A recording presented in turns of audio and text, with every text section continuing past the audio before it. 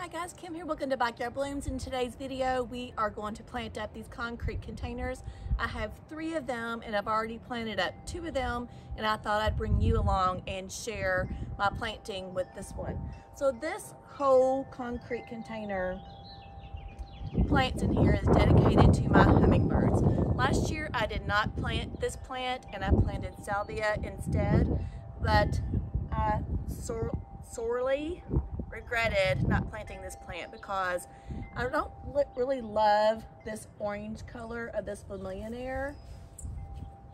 However, the hummingbirds absolutely love this plant. So I decided to bring it back this year and bring it into my garden because no matter how beautiful this garden is with all the different colors of flowers, if you don't have hummingbirds in your life and you're not sitting on the porch in the morning drinking your coffee and watching these little hummingbirds enjoy all this nectar of this gorgeous plant right here, then you're missing out on life. So anyways, like I said, two years prior when I started this garden, I was introduced to this plant from Jenny at Creekside and she did a really lovely video with this vermillionaire and the lemon coral sedum and that's the first year that I planted it and they were absolutely gorgeous. And then the year after that, I did the same. And then last year I did salvia in these pots, which the hummingbirds do love salvia, but not as much as they love this vermillionaire.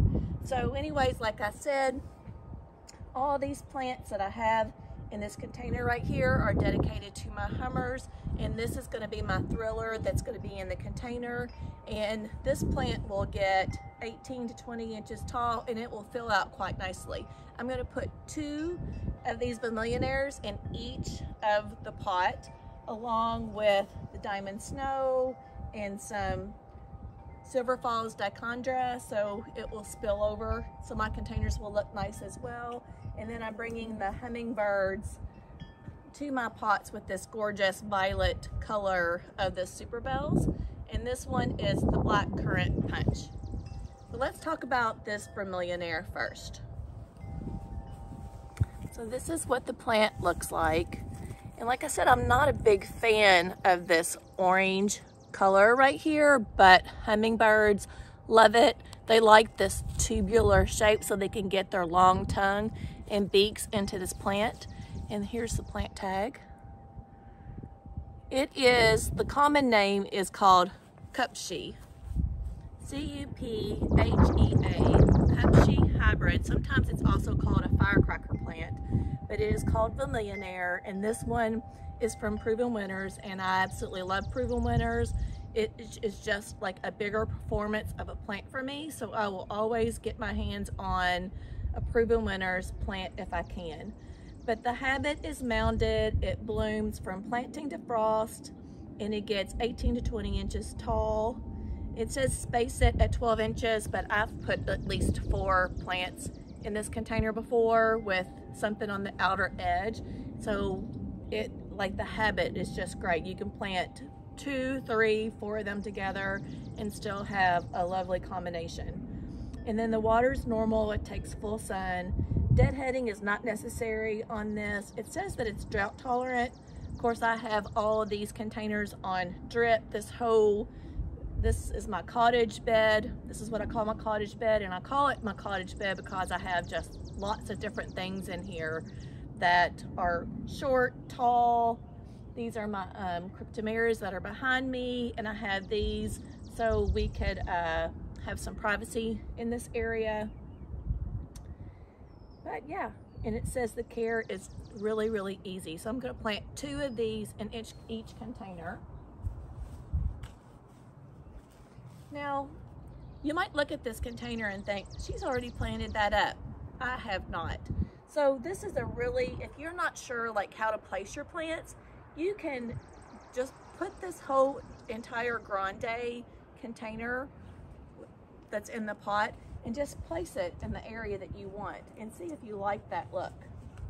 So I have my two Vermillionaires here and then I have my two Diamond Snows here, a Dichondra Falls here. Do you see this little guy? I have a little friend here today that wants to come along and be in my video, little gecko or lizard or whatever you call him, he's right there. He's just like, what is she doing? I'm trying to sun and she's like in my space.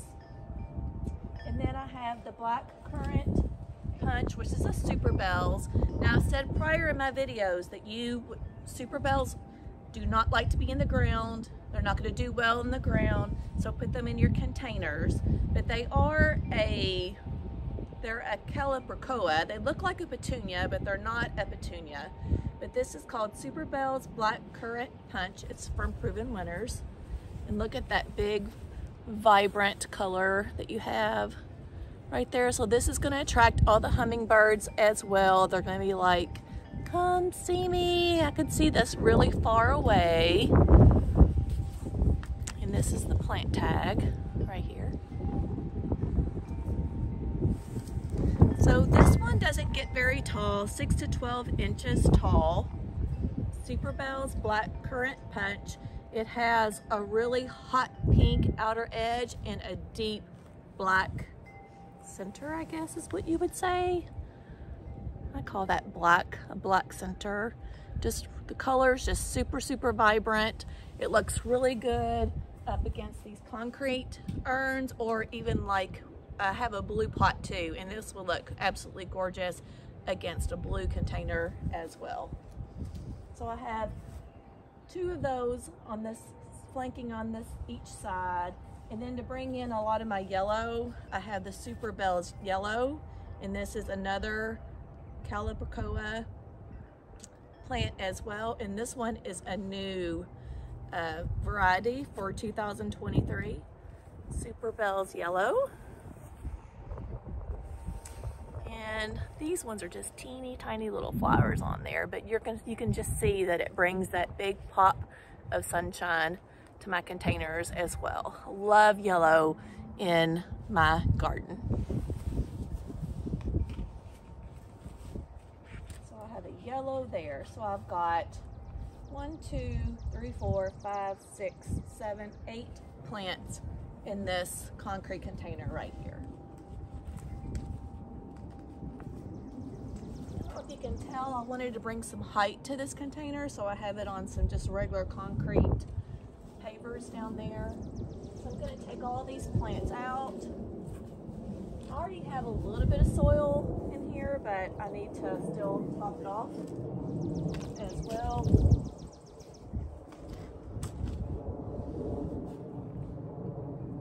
You can see that I have it hooked up to drip right here. So I have this black tubing, which just runs me from A to B. This does not give me drip. It just gives me, like I said, like, I don't need drip in the bottom of the container here. So I, it's connected to my one half inch stripping at the bottom here. And then I have it tied in with a little coupler with a little hole punch. And then the drain hole is here at the bottom. So I have it running down and up and then I have the black tubing and then I have another little coupler and this is my drip tubing right here. I call this my copper tubing. It's really not copper. Actually, I think some of the emitters do have some like little copper in there to help like for the water, uh, what do you call it? Like whenever the water, um, like the white deposits whatever, it helps prevent that from blocking up in that as well. So this is where my drip tubing is.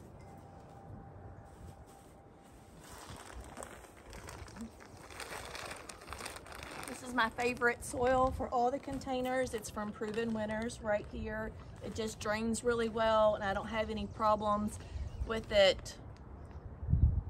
Like sometimes like if things, when it gets really wet or gets too dry, it just doesn't want to drain very well. But this is like light and fluffy and my plants love the soil. So Proven Winners has also like just done their homework with their plants and their soil and all their fertilizers, they work really well together. So if I have a secret, it's not because I truly have a secret, it's because that all the Proven Winners stuff truly does work well with each other.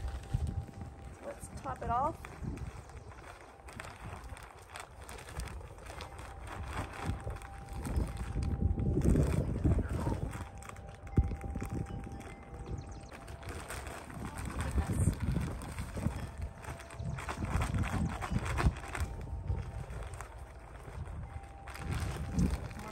Struggle bus aren't I? Okay, and when I talked about the soil, I also talked about the fertilizer. So this is the, the continuous release plant food that I like to put into all my containers when I do all my planting. And that's what that looks like there.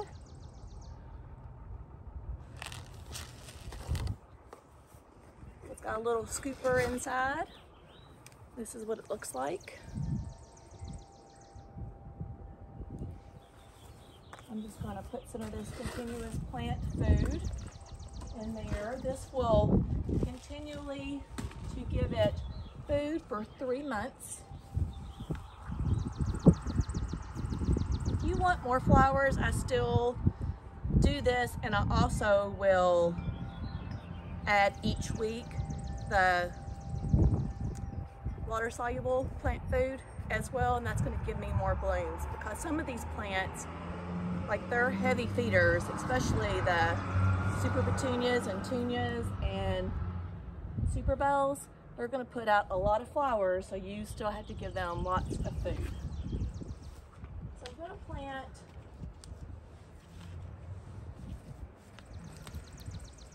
my Vermillionaire first, and I'm just going to squeeze this container until it comes out easy.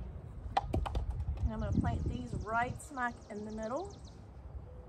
And I have three containers, and I'll share at the very end all three containers with you.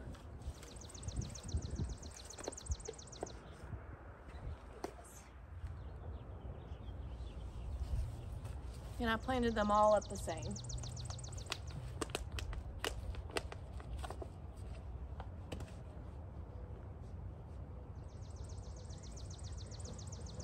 So I'm kind of planting these together like I'm planting them as one plant right there.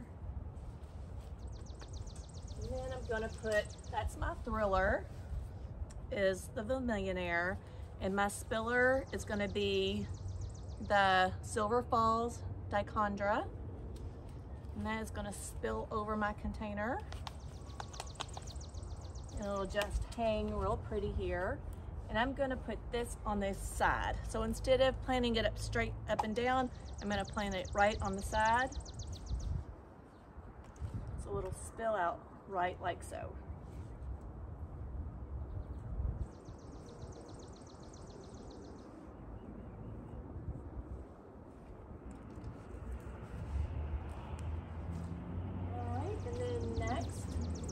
This is my Diamond Snow, so I'm using this more for an accent. This is a euphorbia. The Diamond Snow is mo more known for its uh, foliage than it is. It doesn't really flower. This white on here is just part of the leaves. It looks like it flowers, but it's not. Diamond Snow. You can also have a diamond frost that looks a little bit more not as compound and a little bit more airy. And then there's a diamond mountain that gets really big and that would go more into the landscape and that would get like three feet tall. But this one's gonna stay nice and compact at 12 to 18 inches.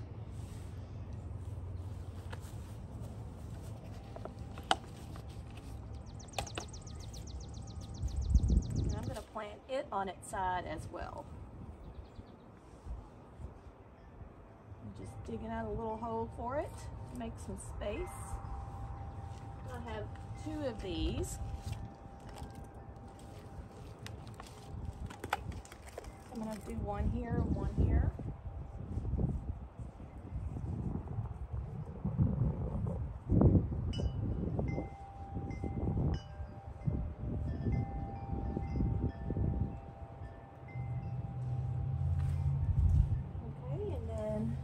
next I'm going to put the Super Bells Black Currant Punch. It gets also 6 to 12 inches tall. These like to be not to have wet feet. They like something that's going to drain really well, so that's why they're better suited for containers. And I'm also going to put this on its side as well. Never heard of anybody putting stuff on its side before until I saw Laura with Garden Answer. I learned a lot from her and that's what she did and it makes a lot of sense when you want it to hang over your container.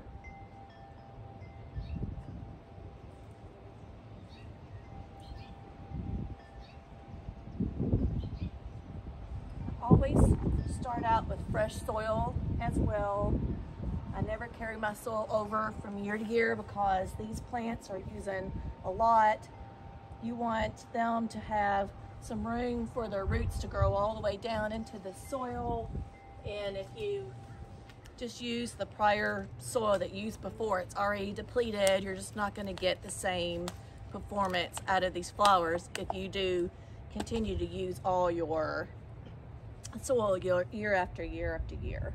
And then another tip is to not fill your containers up with anything. Don't fill them up with rocks. Don't fill them up with any kind of uh, water bottles or anything like that you want like these roots to have a lot of room to be able to grow and then all the soil is going to give them more moisture and just more room to grow as well.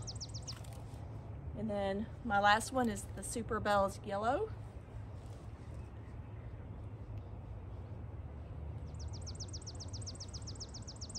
I'm gonna that one in there. So these plants are in here pretty tight. All right, so I still have some roots showing, so I'm going to grab some of the soil and cover all the roots and then get it watered in.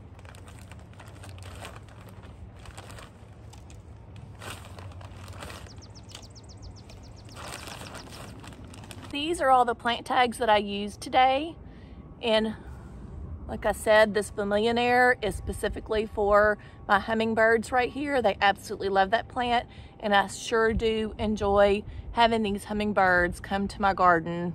It is just an, an it is just an absolute joy to have and see those, especially when I'm drinking my coffee in the morning. Just get a big kick out of having these hummingbirds so close to me and be able to see them in all their glory. I also have a behind me. yeah. So I don't know if you can see this way over here. I do have my own hummingbird feeder as well that I do supplement, but I try to give them as much nectar with natural flowers because I feel like they like that just as much. But I've just made my own solution here. So what I would do would use one cup of just white sugar with four cups. So you just want to do a one to four ratio, right? So one cup of natural sugar to four cups of water and I'll boil that and then let it cool off and then I keep it into like a mason jar and then I'll have some for me for like for the next week or whatever but I can fit three feeders in here as well. So I've got one just for right now and then this little cute hummingbird swing right here. They actually do use this swing. It's kind of cool So let me go over some tips with you, which I call it my secrets, but it's really not a secret because maybe it's just something that you just haven't heard before or just doesn't, you just don't know what to look for. Anyway, so like I said, number one is a great plant, is with the Proven Winners plant. So that's number one. Number two is the soil that you use. I like to use the Proven Winners soil and it does have, and you can see, continuous release plant food right here in the soil as well.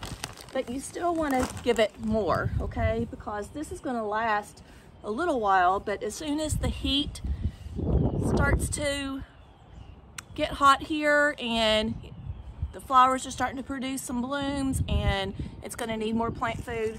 So you want to add more of the release, continuous release plant food, which is right here and I already put some of that into that container and that's what it looks like, little granules. And this will continue to feed up for three months and then after three months, if you would like to add more, you can. But honestly, like on a weekly basis, I like to add this water-soluble plant food. This is just gonna give it more of a boost and will make these flowers grow and be more happy and produce lots of blooms. So that is like my super secret whenever I have all those super petunias in the very front of my house and everybody stops and like, how do you get like all these blooms? Well, this is, this right here is what does it. So this is the water soluble plant food and it comes in two containers, but I just opened them all up and put all the bags inside and that's what it looks like right there. And it comes with the scoop. So you wanna use one scoop of this per one gallon of water. So I have a two gallon here. I have a two gallon bucket right here. So I'm gonna put two of these scoops in this two gallon bucket. If I had a one gallon bucket, then I would only put one scoop. And then I'm gonna do this at least once a week. So there you go. So all this stuff, Proven Winners has already done their homework and they know like how to get the most performance out of these plants. And this is what you gotta do. So it's worth it if you want pretty flowers. All right, now that I went over all my secrets and I got all these plants planted, then we're gonna just water this in. And I do already have the water soluble fertilizer in this two gallon container here. And we're just gonna give this a really, really good soak. Now, as long as your container has drainage hose, and you do not have to worry about overwatering anything because it will just drain right out.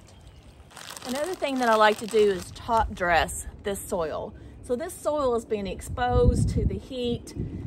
So you can either add some mulch on top if you like, but I really like the look of this Spanish moss on top. So I'm just gonna pull some of this Spanish moss out of the bag right here. And I'm just gonna fill in between all these plants. Just gives it a fresh, clean look as well. Plus it gives it added, added protection. This is natural. Take it and spread it apart more.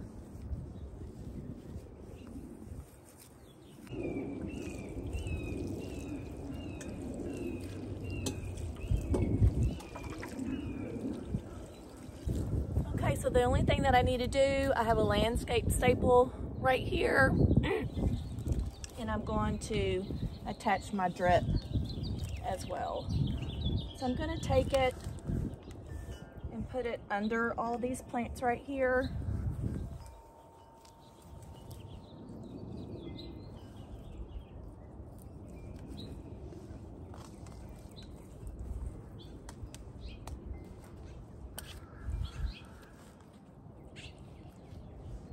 And then I'll just try to curl it up right, snake it into the middle of the plants here.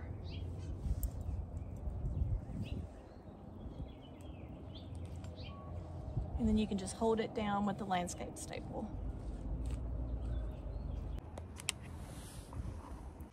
So these are the gorgeous flowers that I just planted with you. This is the Diamond Snow. This is the Silver Falls.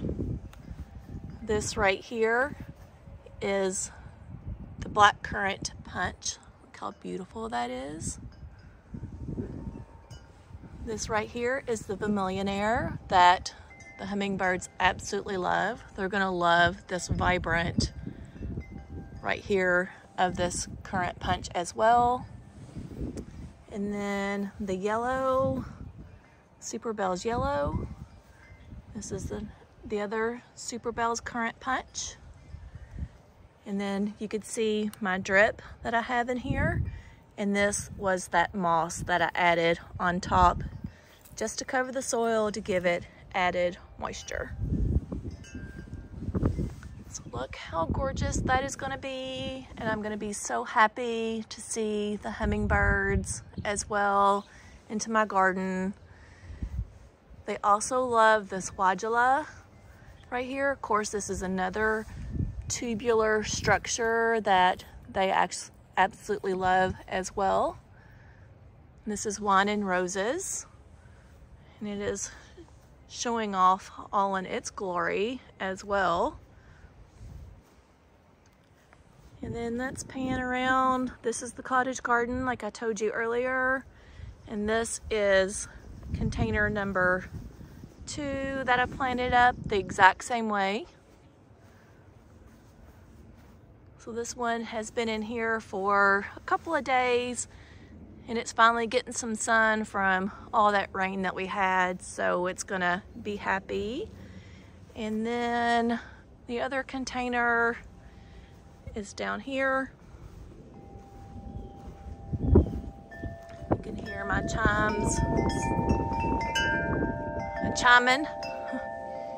So same thing with the diamond snow. You would think that that is a flower, but it's not. It's just a leaf. Isn't that crazy? And then the Dichondra falls, silver falls. It's just gonna like be my my trailer. It's gonna spill over. And then of course I kept all my tags right here in this container. So if I get like confused about what I planted, at least I can share with you guys right there. And then I do want to share with you, and I haven't been able to share with you just yet, is my lavender tree.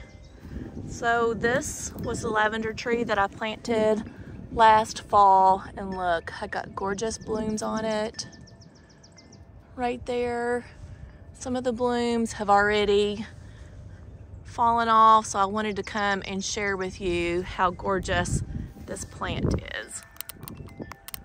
Right there. And then right in front of it is this candy corn. She's looking really really pretty. And I have a little viola that decided to plant on the ground there. And this is the Walker's Low. And the salvia is all in bloom right now. And I'm trying to see, I did have from last year All this columbine looks really great. When I'm sitting on the porch, like this really does bring me some happiness. This columbine, it's really, really pretty. You can see like when I move back, look how just sweet that little plant looks right there. And then this one is new this year, this foxglove. It's about ready to come out in buds. And then I'm not sure if that is a bubble gum that I planted last year or the jazzberry. I'm thinking it's the bubble gum, but that came back from last year. Look, don't pull up your Supertunias. You may get more years out of them. And then you could see where the salvia and the sedum is mixing really well there together. It looks pretty. I'm so excited about the sedum that came up this year. And then these were all the bulbs that I planted in the spring that are trying to die back. And my magnolia is getting some buds on it. And I'm thinking, let's see, what else do we have in this garden that looks good right now?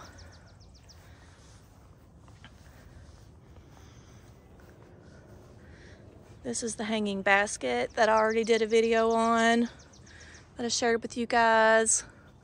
All these different type of purples that were in there. You can see my drip here as well. And the cat's pajamas is looking really, really good. Look at these sweet blooms. So I have several cat's pajamas. They're looking great. I have at least three of them right here. one down there. And my roses are all looking really good. I've managed to keep all the deer off of them thus so far. And I'm starting to get some buds. So I'm not careful. The deer will come and eat all this new foliage right here. And then that's where you're gonna get your buds from. And then it's like completely gone. So that's Olivia Austin, uh, celebration, Jubilee celebration. And then I have another uh, another one here that's the Olivia. And then on my trellis that's growing right here I have my climbing rose, the Sh Fire, Shroud Shire. Can't never say that word rose. I'll put the name of it up on the screen for you. And look at this clematis. It's gone crazy. I should have tried to tie it up a little bit better before it got all mangled together. Well, there's another view of the cat's pajamas. Look how pretty that is. Bees are gonna be all over this. And then there is the clematis that's about ready to be in bloom. You can see those are where all the blooms are gonna come from. And I have some daylilies down here. The deer already got them once, so we'll see if they bloom. And then this is the rose that's over here.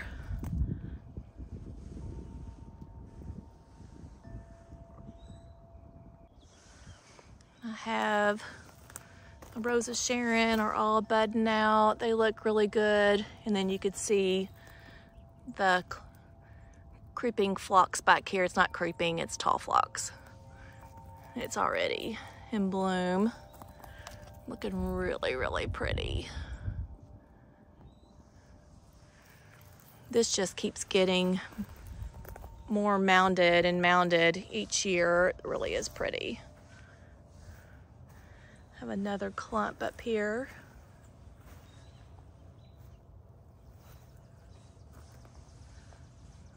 There.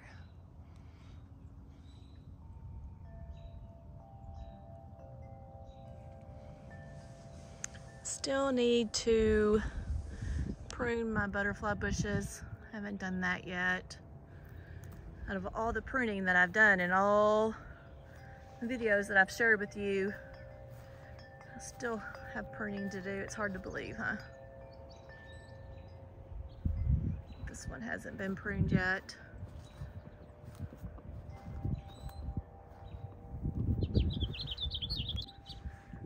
Before I go, I got one more thing to share with you. Look at these gorgeous alliums.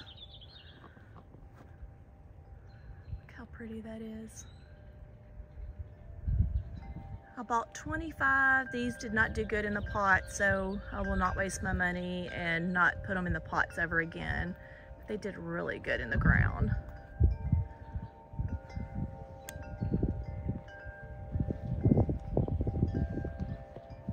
These are about ready to pop out in their little spherical All right, all right, friends. So I hope this video was helpful. I hope this gave you some inspiration to go out and buy some gorgeous concrete containers and fill them with some gorgeous plants. And I'll see you in the next video. Bye.